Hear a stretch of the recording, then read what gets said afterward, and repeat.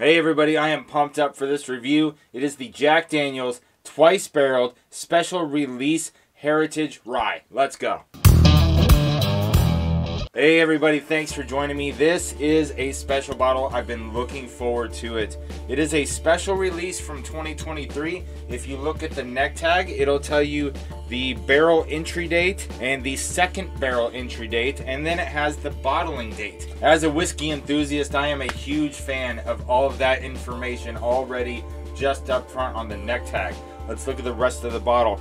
It's in the stout squarer bottle that we've been seeing a lot of the Jack Daniels single barrels and special releases coming out in. And it says on the front, Jack Daniels, uniquely crafted, handmade barrels, twice barreled special release, Tennessee Rye Whiskey, Heritage Barrel Rye, 100 proof, 50% alcohol by volume, 700 milliliters, straight rye whiskey aged in new oak barrels and then matured in our homemade heritage barrels which are heavily toasted and lightly charred to create a unique flavor. I did not know the second barrel was toasted. I am even more excited about it now. On the side of the bottle, you can see a little bit written above the government warning. It says limited bottle number. Mine is HBR for Heritage Barrel Rye 04598. The special release series highlights the Jack Daniels Distillery's innovation. Our rye whiskey is matured first in new American charred oak barrels and then in our uniquely crafted heavy toast low char heritage barrels. We extend this one of a kind craftsmanship to you. Oh my goodness, I can't get any more excited. I'm gonna get a special Jack Daniels glass to have this in. I've got this big Glencairn oversized stemless Glen that has a Jack Daniels on the bottom. I'll show you a picture of it. All right, got the plastic off of there. Coming to the cork pop. Ooh, nice one. Fresh cork pop. We do not put ryes in our infinity barrel. Look at that beautiful, beautiful Jack Daniels whiskey in this giant, ridiculous Jack Daniels glass. Absolutely love it. So as you can tell, it's got a nice dark, rich color to it. Oh man, smell Golden Grahams.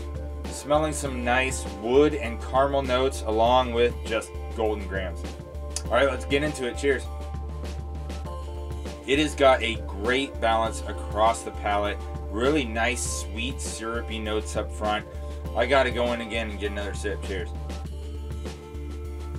It's got some great wood notes right up front there's like a syrupy caramel note that isn't so much like the thick dark brown syrupy caramel, but more like the clear pump syrup caramel. I don't know how to explain it.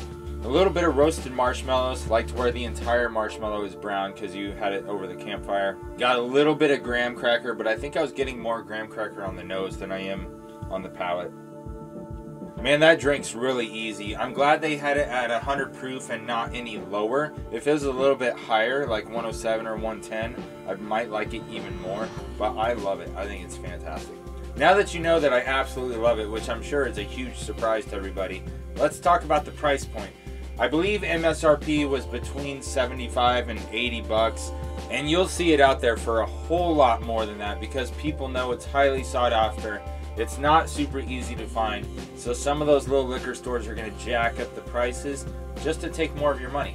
But it's a limited release, hard to find, and it's absolutely freaking delicious. And so I can justify paying over MSRP on this, but that does not excuse the people selling this for three to four hundred dollars.